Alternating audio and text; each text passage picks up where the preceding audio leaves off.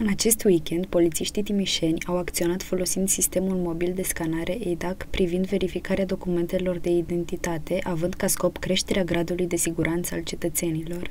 Au fost legitimate peste 300 de persoane și au fost verificate peste 260 de vehicule. Pentru neregulile constatate, polițiștii au aplicat 343 de sancțiuni contravenționale și au reținut în vederea suspendării exercitării dreptului de a conduce 28 de permise de conducere și au ridicat 7 certificate de înmatriculare. 290 de persoane au fost testate cu aparatul alcool test și 24 de persoane cu aparatul drag test. Au fost constatate 8 infracțiuni la regimul circulației rutiere, printre care, la data de 30 martie 2024, polițiștii secției 9 rurale Jebel au oprit pentru control un autoturism condus de către o tânără în vârstă de 28 de ani. În urma testării cu aparatul din dotare au reieșit indicii cu privire la posibila prezență a substanțelor psihoactive. Aceasta a fost transportată la o unitate spitalicească pentru recoltarea de probe biologice în vederea stabilirii cu exactitate a consumului unor substanțe interzise. În cauză a fost întocmit un dosar penal sub aspectul săvârșirii infracțiunii de conducere pe drumurile publice a unui autovehicul sub influența substanțelor psihoactive. Polițiștii vor continua să acționeze pe raza județului pentru prevenirea oricăror evenimente rutiere.